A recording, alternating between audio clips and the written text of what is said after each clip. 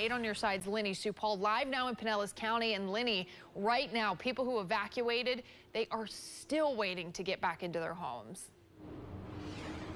That is exactly right, Melissa. We're here at the entrance of the Tom Stuart Causeway. Many drivers turning around disappointed, not knowing when they'll be able to return to their homes. Now, last night, residents who decided not to evacuate were escorted off the island. Officials say the conditions are just too hazardous and the devastation is widespread. Gulf Boulevard caked with mounds of sand that's several feet deep in some spots. But there's a growing sense of worry since so many people have no idea about the condition of their home thinking that you know we're in a really safe spot as far as where our house is located uh, but i don't know if we're going to be so lucky this time